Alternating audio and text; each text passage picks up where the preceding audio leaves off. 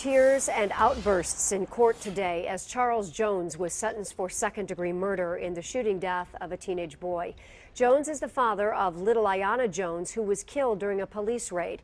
He says he is innocent in the murder of Je'Rean Blake and asked for a lighter sentence.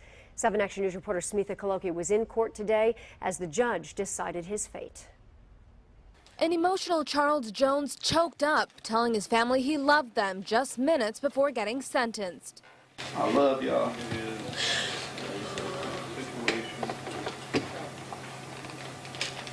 And thanks for being here and supporting me. I'm gonna be strong, man.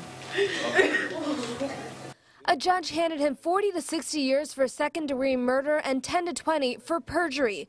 A jury found him guilty in the death of Je'Rean Blake. Prosecutors said Jones gave Chauncey Owens the gun to shoot Blake. Charles Jones, you helped taking away so much from my family and friend and I.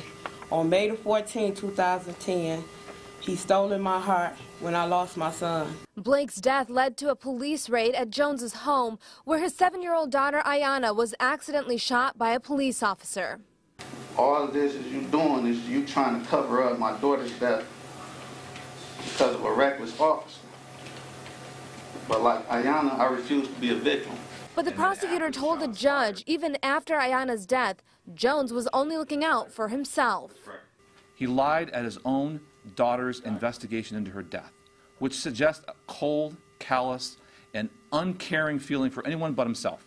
Here you are judging me like I'm not human, like I don't have get the right to have bad days like everyone else. From here, Jones plans to appeal his conviction, while Je'Rean Blake's family continues to wrestle with the teenager's death. From Frank Murphy Hall of Justice, Smitha Kaloki, 7 Action News.